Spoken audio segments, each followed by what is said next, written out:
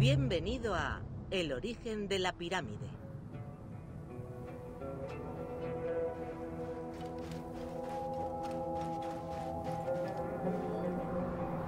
El origen de la palabra pirámide no está muy claro. Muchos piensan que proviene del griego puramis, que se refería a un pan de forma cónica.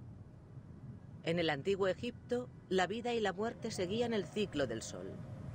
La forma perfecta de la pirámide de caras lisas se convirtió en una metáfora del faraón transformado en un rayo solar al morir.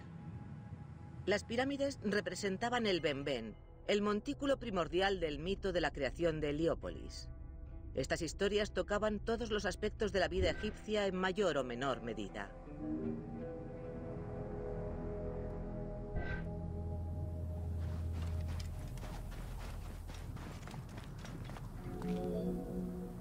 Durante el período predinástico, el desarrollo de las prácticas funerarias variaba bastante entre el Bajo y el Alto Egipto. Mucho antes de las pirámides se usaban fosas funerarias. En la excavación de Merim de Beni Salame se encuentra el emplazamiento funerario más antiguo, del 5000 antes de la era común. El estudio de las tumbas mostró que los cuerpos de los muertos se depositaron en una sepultura poco profunda en posición fetal. Aunque se recuperaron algunos objetos, no permitieron descubrir la clase social de los enterrados.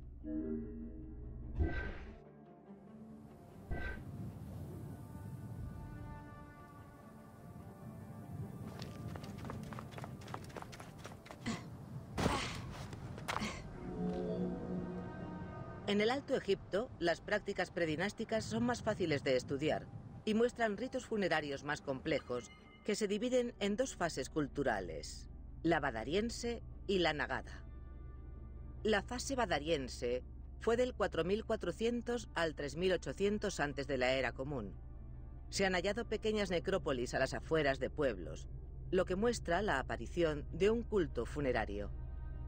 Los cuerpos de los fallecidos se introducían en una tumba ovalada y se cubrían con pieles de cabra o gacela. Además, se añadían objetos necesarios para la vida cotidiana.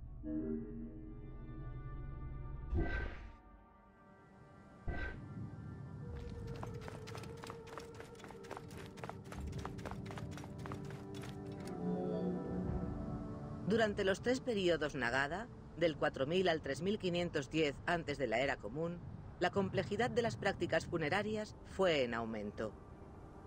La forma de las tumbas pasó de ovalada a rectangular, imitando las casas de los vivos.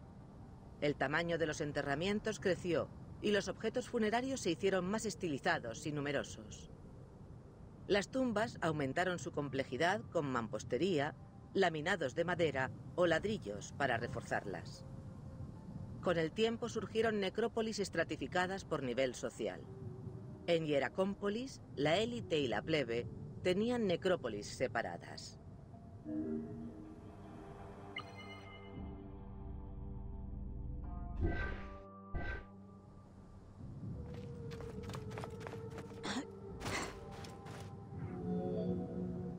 El término mastaba, que significa banco enorme en dialecto árabe, se refiere a una forma de arquitectura funeraria presente en Egipto desde el período arcaico hasta el Imperio Medio.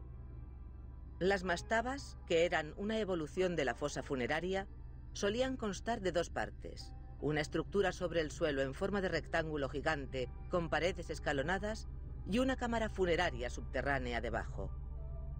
La tumba del rey, mucho más grande, solía estar rodeada de mastabas menores que contenían los restos de sus familiares y cortesanos.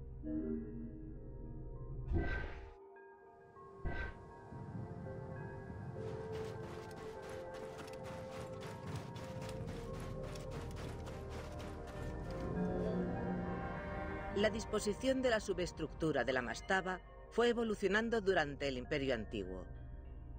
A partir de la dinastía V, las mastabas a menudo contaban con varias salas, a veces hasta 30. Además, la cantidad y la calidad de las superficies decoradas aumentó notablemente, así como el número de estatuas halladas en su interior.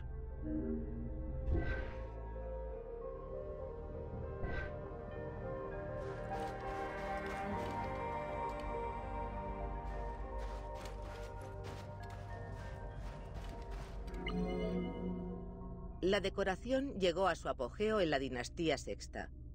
Toda la superficie de la mastaba se recubría con escenas cotidianas que ilustraban la prosperidad de los afortunados que pasarían la eternidad cómodamente junto a la pirámide del faraón.